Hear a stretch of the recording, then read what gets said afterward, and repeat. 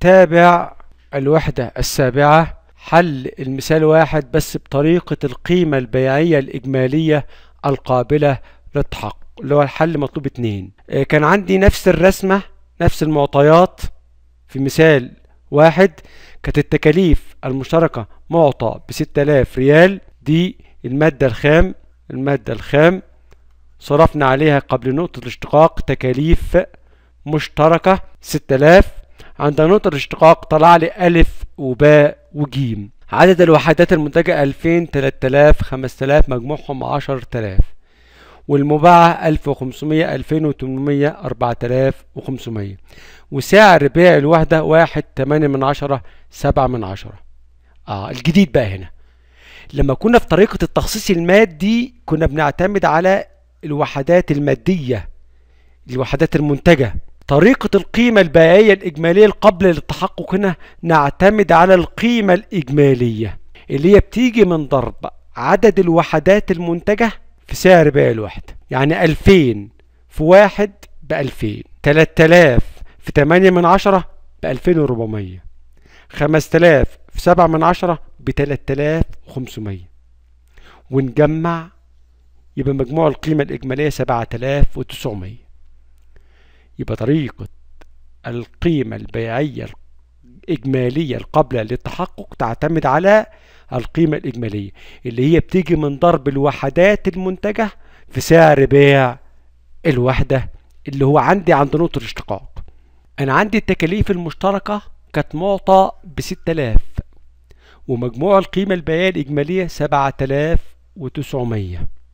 لو قسمناهم على بعض يبقى كده نصيب الريال من التكاليف المشتركة؟ من القيمة الإجمالية كام؟ الريال الواحد من التكاليف المشتركة نصيبه من القيمة الإجمالية البيعية كام؟ هقسم الستة آلاف أقسمها على السبعة تسعمية. تطلع فاصل سبعة خمسة تسعة أربعة تسعة. ريال لكل ريال قيمة بيعية. طيب نصيب المنتج ألف. هاخد الرقم اللي طلع ده نصيب الريال فاصل سبعة خمسة تسعة أربعة تسعة. في الرقم ده كان القيمة البيعية الإجمالية اللي كنا عملناها القيمة الإجمالية. القيمة الإجمالية اللي كنا جت من جت من ضرب كمية الإنتاج عدد الوحدات في سعر بيع الوحدة اللي هي الأرقام دي جبناها من على الرسمة. يطلع 1519 ريال.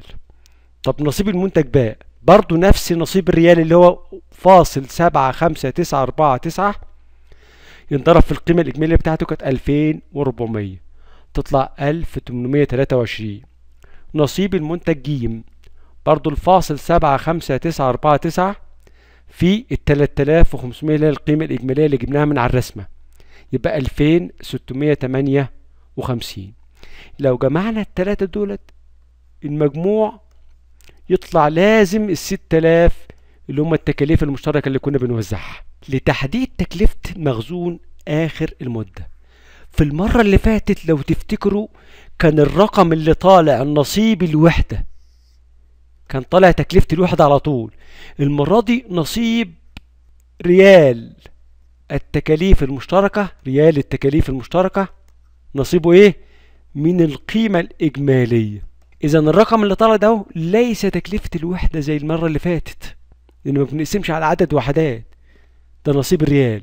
إذا تكلفة المخزون هنا تطلع بطريقة صعبة شوية تكلفة المخزون هتتحدد بطريقة صعبة شوية الأول نحدد كمية المخزون دي سهلة وعارفينها. اللي هي إيه؟ المنتج ناقص المباع يديك المخزون. فأنا عندي قد المنتجات التلاتة ألف وباء وجيم ودي كمية الإنتاج من كل منتج وكمية المبيعات من كل منتج. الفرق بينهم لو خدنا الفرق بين الاتنين دولت يطلع لي كمية المخزون. فيبقى الفرق بين 2000 و 1500 دي 500 فرق بين 3000 و 2800 200 الفرق بين 5000 و 4500 ادي 500 أدي كمية المخزون من كل إيه؟ طب نجيب تكلفة المخزون إزاي؟ لها معادلة. تحديد تكلفة المخزون وتتحدد من العلاقة الرياضية التالية. تكلفة المخزون آخر المدة من كل منتج بتساوي. افتح قوس كبير. تكاليفه المشتركة. زائد الخاصة بتاعته. يبقى جمع تكاليفه المشتركة زائد تكاليفه الخاصة والمجموع ده في قوس يتقسم على كمية إنتاجه. القوس الكبير ده كله لما أقسم على كمية إنتاجه يطلع تكلفة الوحدة. أروح ضاربها في كمية المخزون منه من هذا المنتج. طب نطبق المعادلة ديت للمنتج الأولاني ألف. كانت تكاليفه المشتركة بعد ما وزعناها كنا حسبناها طلعناها 1519 زائد الخاصة بتاعته ما كانش لها صفر. على كمية الإنتاج منه من المنتج الأولاني كان 2000 كل ده ينضرب في المخزون اللي طلعناه من المنتج الأول كان 500 وحده تطلع 379.75 نجيب تكلفة المخزون للمنتج باء كانت تكاليفه المشتركة بعد ما وزعنا كانت 1823 والخاصة بتاعته صفر. يتقسم على 3000 اللي هي كمية إنتاجه. كل ده ينضرب في ال 200 اللي هي كمية المخزون منه. تطلع 121.53 للمنتج جيم. تكاليفه المشتركة بعد ما وزعناها له طلع نصيبه 2658 والخاصة بتاعته صفر. على كمية إنتاجه كانت معطى ب 5000 كل ده ينضرب في الكمية المخزون منه. حسبناها 500 يبقى تطلع 767.08 ريال. نيجي نشوف قائمة الدخل. عمود لألف وباء وجيم والإجمالي. أول حاجة في قائمة الدخل كمية المبيعات. اللي هي كانت معطى 1500 2800 4500 أضربها في سعر بيع الوحدة اللي هو برضو كان معطى. بواحد تمانية من عشرة سبعة من عشرة. لما أضرب كمية المبيعات في سعر البيع الوحدة يطلع إيراد المبيعات 1500 2240 3150 6890 أطرح تكلفة المبيعات. اللي هي عبارة عن تكاليف الإنتاج تكاليف الإنتاج اللي هي مشتركة وخاصة. مشتركة كنا حسبناها بعد التوزيع 1519 1823 2658 مجموعهم 6000 والخاصة شرطة شرطة شرطة شرطة. لما أجمع الاتنين دول مع بعض المشتركة مع الخاصة يديك إجمالي تكاليف الإنتاج. إجمالي تكاليف الإنتاج دي عشان توصل لتكلفة المبيعات تضيف تكلفة مخزون أول مدة اللي هي ما كانش فيه وتطرح تكلفة مخزون آخر مدة اللي إحنا حسبناها من الشريحة السابقة. كنا حسبناها للمنتج ألف 379.75 وباء 121.53 وجيم 265.8 مجموعها للثلاث منتجات 767.08 يبقى بقى عندي أحط الأرقام دي بين قوسين عشان تنطرح. يبقى عندي تكاليف الإنتاج. زائد مخزون أول ناقص مخزون إيه؟ آخر. تطلع لي تكلفة المبيعات. تكلفة المبيعات في المنتج الأولاني 1139.25 الثاني 1701.47 الثالث 2392.2 والمجموع 5232.92 يبقى أنا عندي إيراد المبيعات وعندي تكلفة المبيعات. الفرق بينهم هيساوي مجمل الربح. يبقى 1500 ناقص 1139.25 يطلع مجمل ربح 360.75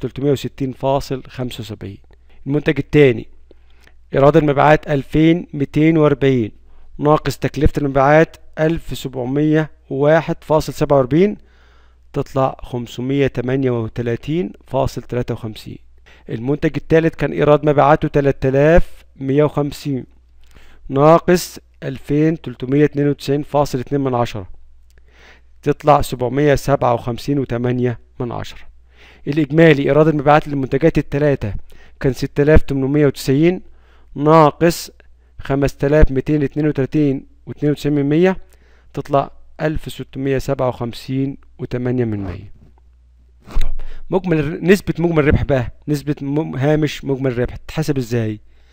هيبقى عبارة عن مجمل الربح هتبقى عبارة عن مجمل الربح مقسوم على إيراد المبيعات إيراد المبيعات في مية. هطبقها للمنتج الأولاني. كان مجمل ربحه طلعناه 360.75